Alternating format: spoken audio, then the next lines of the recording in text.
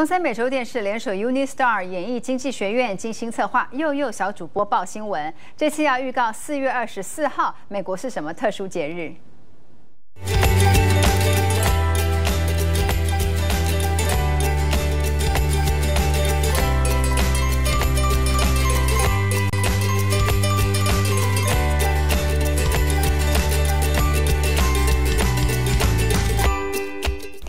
大家好，我是悠悠小主播 Laura。美国的节日让悠悠小主播告诉你，今年的四月二十四号是国家跳绳日 （National Skipping Day）。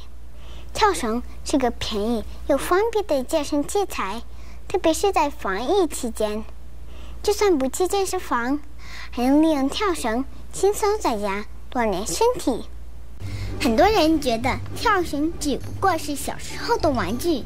其实跳绳是一项高强度的有氧运动，燃烧脂肪的效果比跑步更好。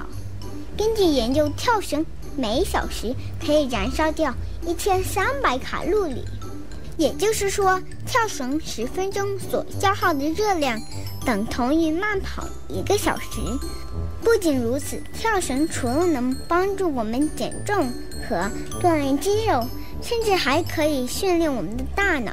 进一步提高阅读技巧和增强记忆力，使我们的心理层面能够更敏锐、更健康。